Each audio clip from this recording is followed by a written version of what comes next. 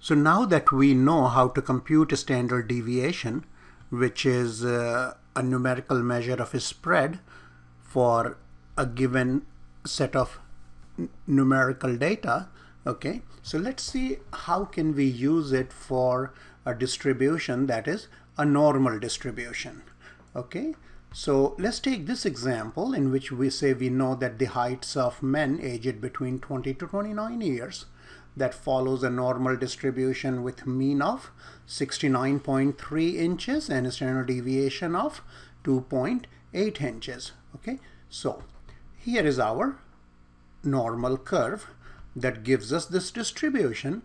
We know that the mean is 69.3, all right, so the mean is uh, 69.3 and standard deviation is how much? 2.8.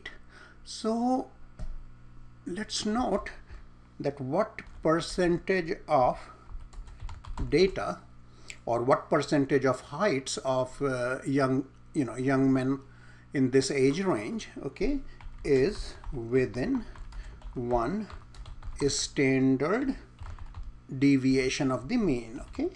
All right. So what do we mean by that? We mean the following. That is notice that the mean is how much? The mean is uh, 69.3 inches.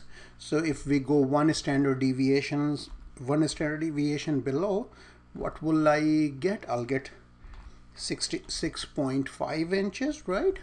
And if I go one standard deviation above what would I get?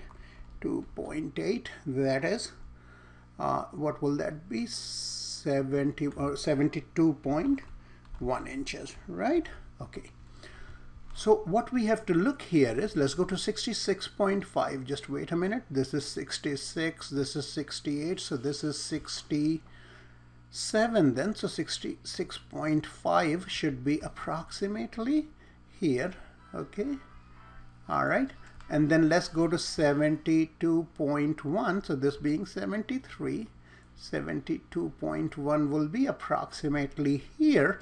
So what we would like to know is we would like to look, know that what percentage of observations are within these two values or what is the area under the normal curve okay? And over the x-axis between 66.5 and 72.1 inches so let's work on that. We will pull up the calculator and uh, go to normal CDF all right. So what do we do? We put the lower bound okay? And uh, then we put the upper bound okay? Then the mean. And then what? The uh, standard deviation I think I got it incorrect. Uh, yes 2.8 right? Okay 2.8 okay so what do we get? We get uh, something is wrong. Okay this should have been 69.3 right?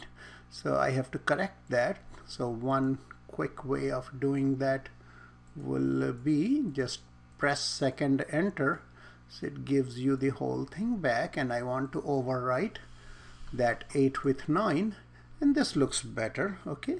So what we have then is that this area that we see right here oops just a second where did it go? Sorry about that. Okay here we are. So this area is approximately how much? 68.3% because in here we have it as a proportion, right? So what we can say, so about, so we can easily, or we can rather conclude that about 68.3% of the data, okay, all right, is within what? 68.3% of the data is within one standard deviation of the mean for a normal distribution.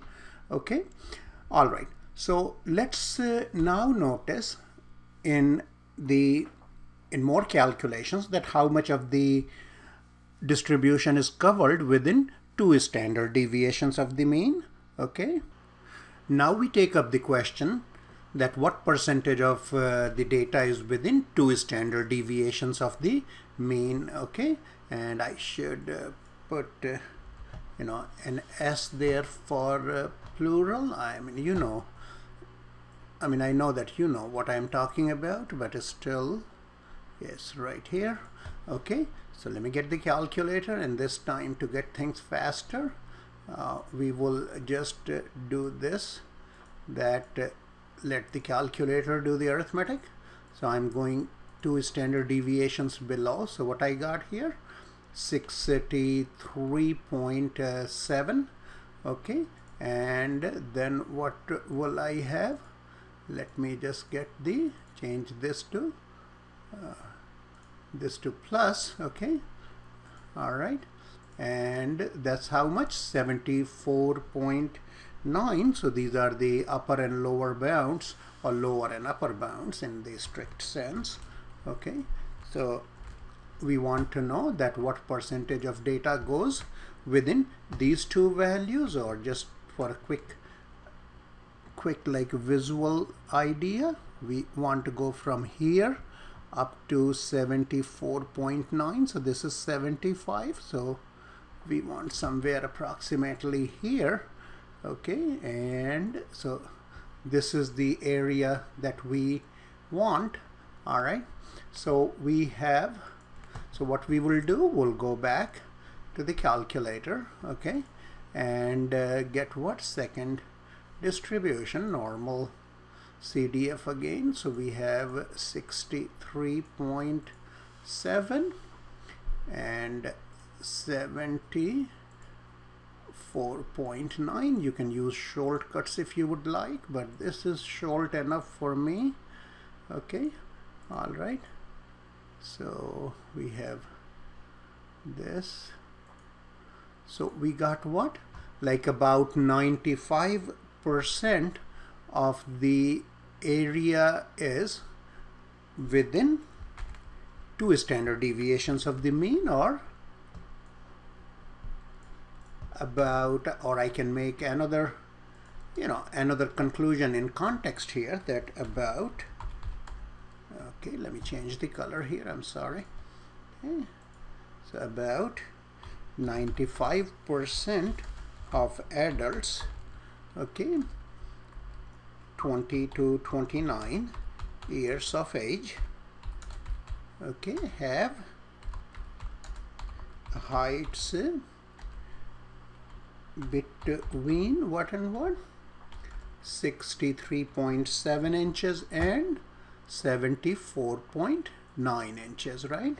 So 63.7 inches and uh, what's the other limit? Uh, 74.9 inches right? Okay so this is how much is covered within two standard deviations of the mean okay.